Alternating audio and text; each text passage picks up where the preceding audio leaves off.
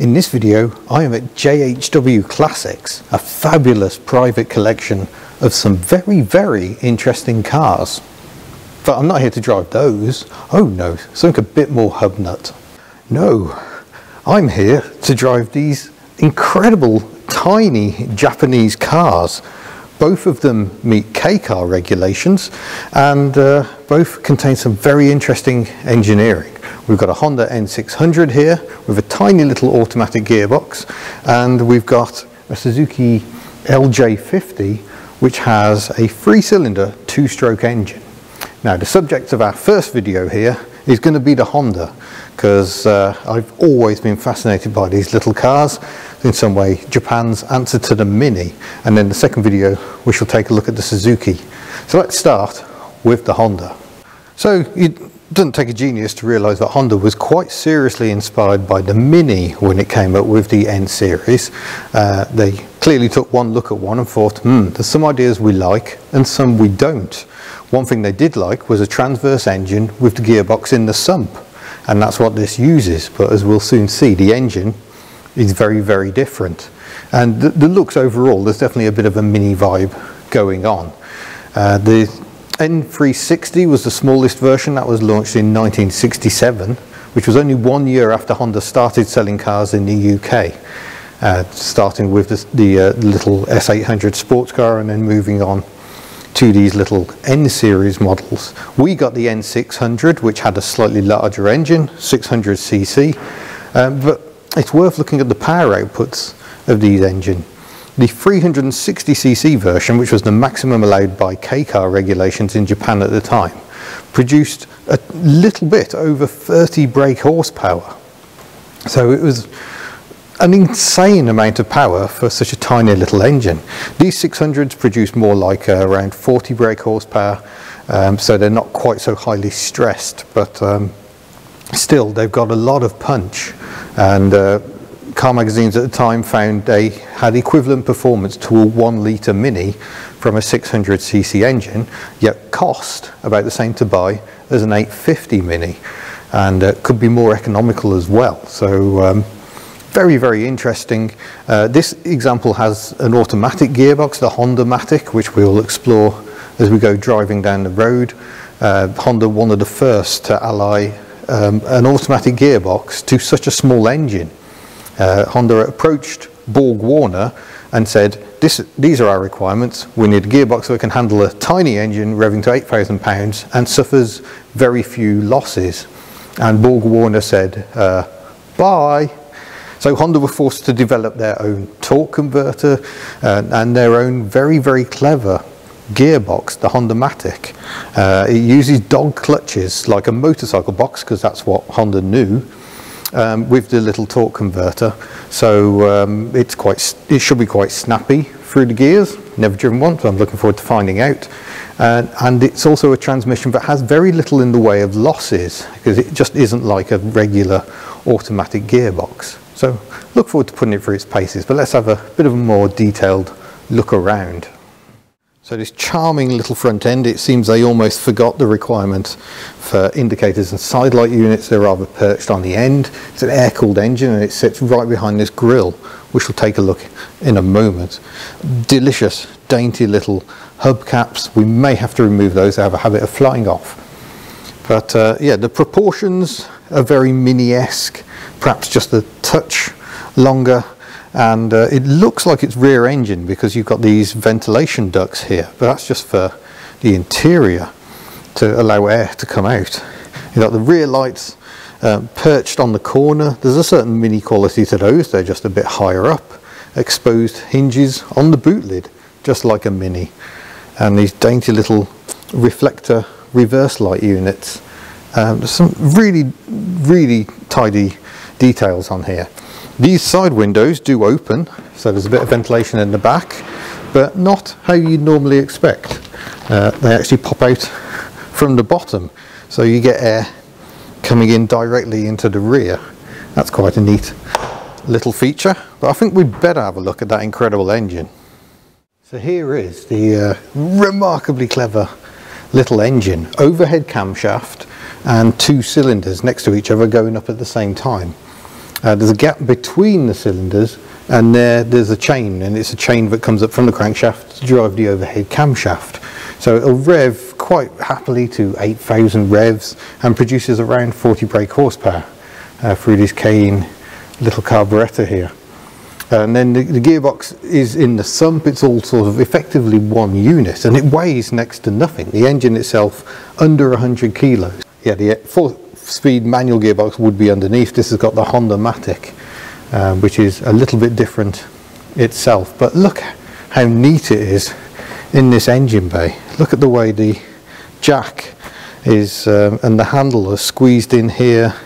You've got the um, spare tyre over the other side it's a masterpiece of packaging and inspired by the Mini but so very very different to it. So this engine is an absolute screamer yet can also deliver very good fuel economy. Here's another delicious touch. How do you make your fuel flap secure? Well you have it so you have to open the door and pull a little peg to release it and then you can put fuel in. That's a delightful and such a simple way of doing it but still lovely in its terms of its engineering. And if we move around to the back, I shall grab the key. We shall have a look at the dainty little boot. Incidentally, there is just one key. Uh, that's most unlike a lot of cars at the time. Uh, pop the boot open and uh, it's very dark in there but surprisingly deep. There's a big box of something in here and a drinks bottle.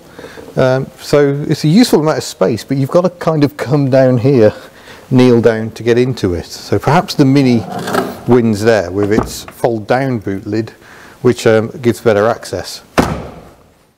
We move inside, uh, lovely door furniture, lovely mechanism there. The window winder has a lovely engineered feel to it. We've got these little seats that tip to allow access to the rear. Oh, punk! There goes the horn. So that's quite nice. Let's see what it's actually like to sit behind the wheel. Oh, cosy is how it is, unsurprisingly. Uh, so you'll note we've got a column gear lever. So taking some inspiration from America there, but um, it, it, means that there's no space taken up by a gear lever down here. The manual did have a gear lever that sprouted out from underneath the dashboard.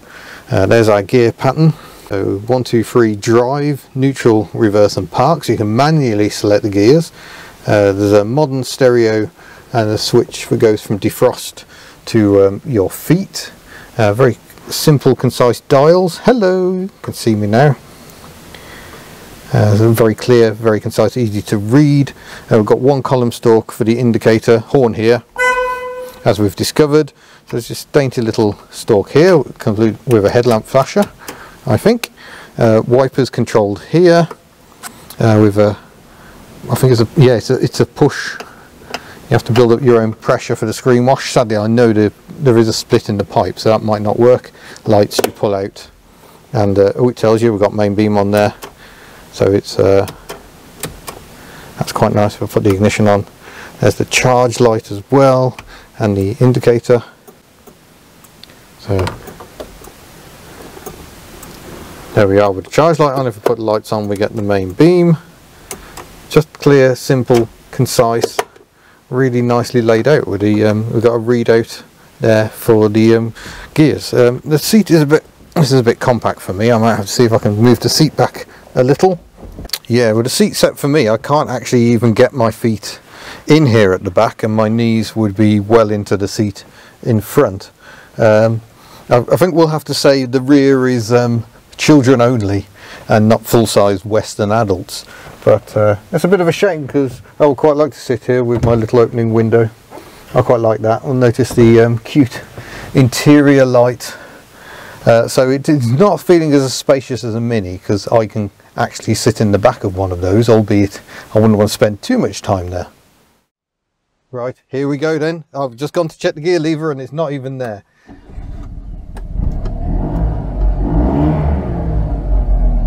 See, it sounds like a single cylinder engine because uh, they're both going at the same time, I think.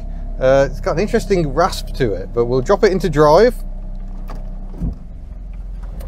And we shall go off.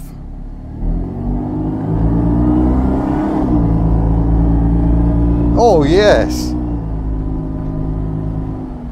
The steering wheel isn't quite even. It's closer to me here than it is here. It's on a wonk, a bit like um, a Jaguar type of all things. Whew. I think I'm going to like this.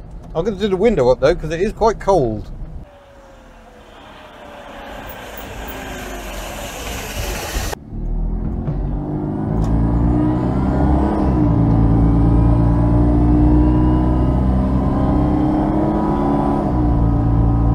Yeah, those are very smooth gear changes.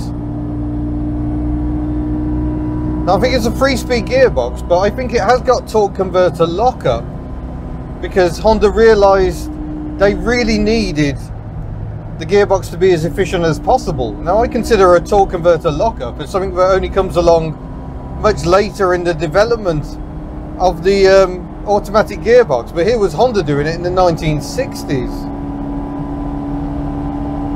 Steering's a little vague. We're getting blown around quite a lot today as well. And by 50 miles an hour, we're starting to get a little buzzy.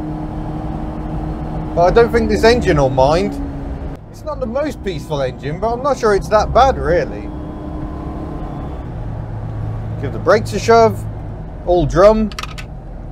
Yep, I feel good enough. I'm moving something down there. I'm not sure what it is. I can't do a wiper test, really. Well, I can. Let's just do it anyway. There we go. Yay! Nice dinky little wipers. Good overlap, no triangle of doom there. Oh, we've lost the engine. Uh, Jane did say the idle seems to be a bit low at the moment. Uh, so, come on.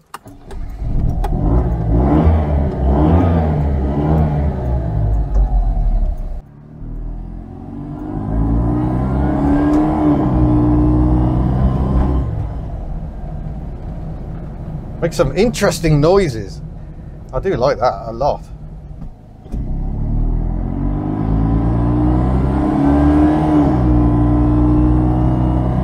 Yeah, you, you wouldn't call it peaceful. It, it sounds quite moped-like, doesn't it, really? Although mopeds don't change gear, to be fair, because they tend to have CVTs, but uh, it's got that sort of vibe. It reminds me of driving older tuk-tuks, uh, what scooters sound like. Uh, but you know, all the controls, what few there are, fall very nicely to hand. And the visibility is excellent. And it doesn't feel like a slow car. I mean, it's easy to say when you're driving in a 30 limit. But uh, yeah, it just feels very jolly indeed. I am absolutely delighted to finally get to drive one of these. There are ventilation flaps I can open down here if I feel I'm getting a bit warm. Uh, so that's quite funky, extra ventilation, because you know Japan can be quite a hot country. I don't know if gearbox kicks down, I guess we'll find out in a minute. We're coming to the end of the 30 limit. It's certainly smooth for pottering around town, but uh, let's go and see what it's like out on the open road. So if I plunk my little foot down, no it doesn't really kick down, but I can drop it into second. There we go.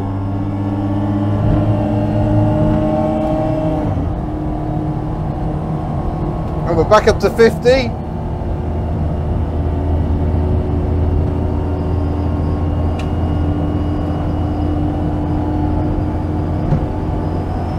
We're doing 60 miles an hour. Bit of wind noise you can hear going on. Downside of quarter lights really, but I suspect the wipers and other items are catching a bit of air as we're driving along.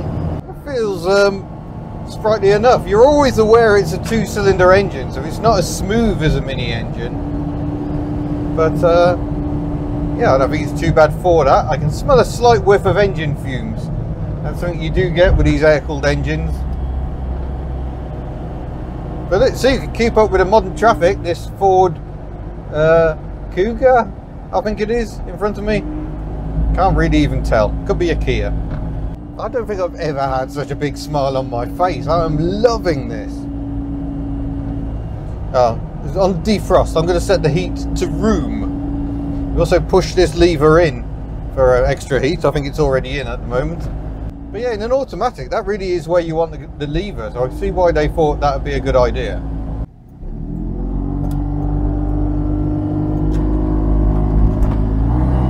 That was my fault, I'd left it in third.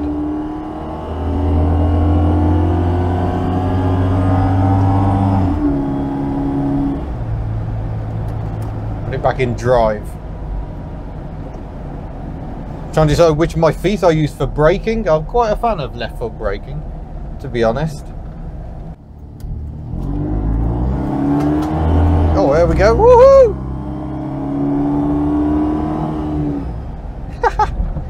oh, this is such a jolly little car. I think that engine is actually um, fairly smooth and it pulls quite well. So, um, you know, we're pottering along here and it's not sounding rough at all because it will rev like crazy because uh, it's a Honda that's what they did.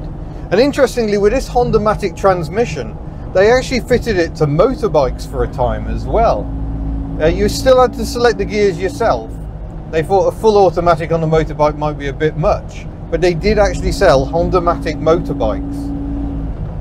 And uh, the Hondamatic system continued as well. It was also featured on the Honda Civic which replaced the N series really uh, in 1973 and that was a proper car really. It was still proper Honda don't get me wrong but a huge success in America where its um, CVCC engine met the European emissions without any bolt-on rubbish.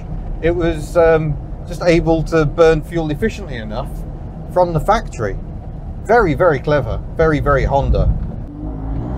Oh there's the kick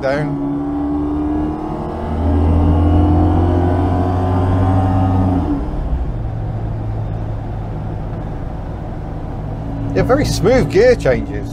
Yeah, effectively dog clutches, it's like a constant mesh gearbox. The gears are always meshed, but clutch packs uh, dictate which ones are transmitting drive at any particular time.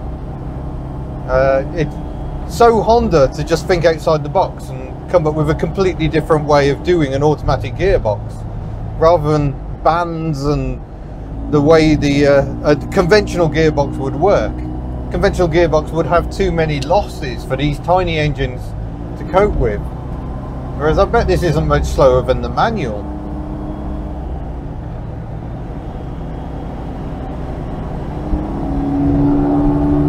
The ride is getting a bit bouncy at times. We've got simple leaf springs at the back. We've got MacPherson struts at the front.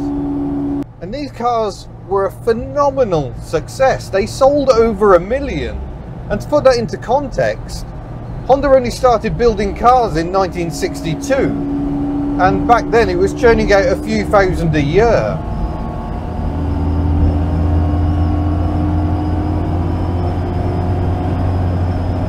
Yeah, 60 miles an hour is um, no problem. That engine's turning over quite quickly, but it's it's not unseemly the amount of noise. It's mostly wind noise you can hear.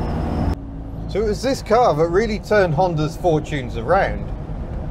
Uh, although the Civic took it to the next level really, it just went up a, a note further.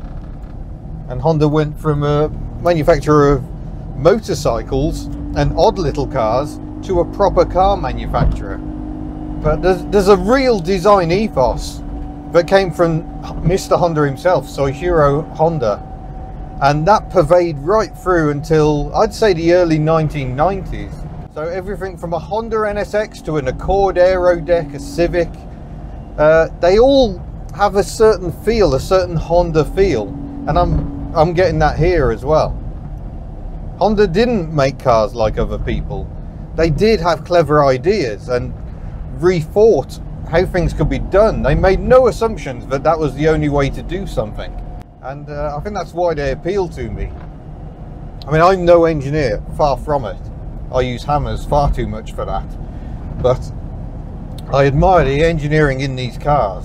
Yeah, the ride's a little bouncy, it doesn't handle like a Mini. But then, to be honest, few cars do.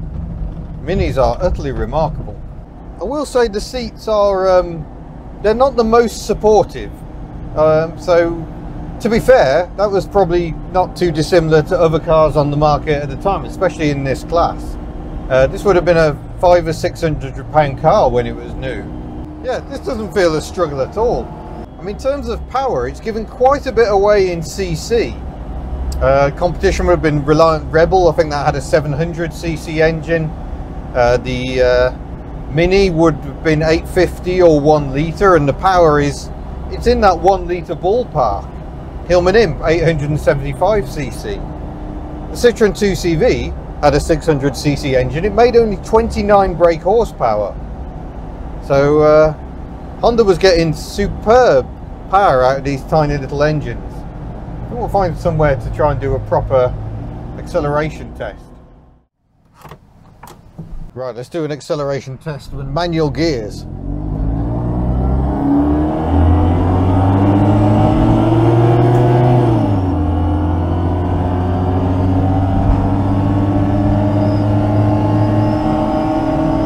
There's 50. That's getting quite loud now. 60. oh. That little engine just spins and spins and spins. I have a feeling the 600 produces maximum power at about 6,000 RPM, whereas the uh, the 360 would rev easily to 8,000 and beyond, which is just unheard of at the time. I'm pretty sure a Mini produces maximum power about 4,700 revs. So stark, stark contrast to the British engineering. But the Japanese were forced to think that way. Uh, some other fascinating um, early Japanese cars. The Daihatsu Fellow Max that I drove in New Zealand. And uh, the Suzuki I'll be driving next. I'm really looking forward to that. So while it might appear at first that this little Honda is just another Japanese clone of a European design, uh, it's proof that it's not that at all. Sure, Honda looked at the Mini, but they thought, we can do better, we can do different. And uh, they really did. It hasn't got that precision handling of a Mini, but uh, it's, a, it's got some very novel engineering all of its own. And uh, I think you'd be very, very happy with one of these over say, you know, you could get an automatic Mini with that rather um, agricultural four-speed AP gearbox, also having to work on the engine oil. I think this does a much better job. oh wow.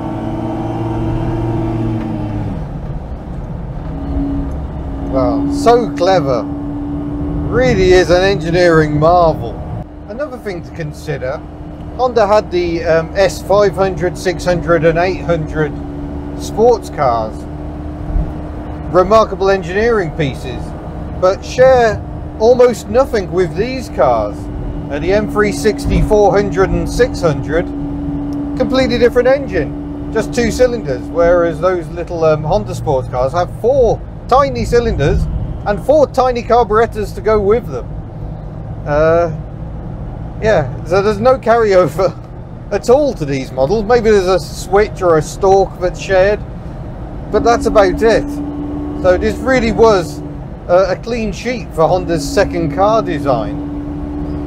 And uh, that willingness to reinvent would stand Honda well in future. of course, Honda would go on to work with Rover to learn more about the European market. And uh, that relation eventually came to an end. And while Rover might well have wanted to carry on if it hadn't been for being bought out by BMW, I'm not sure Honda agreed. I think Honda felt they had learned what they needed to learn.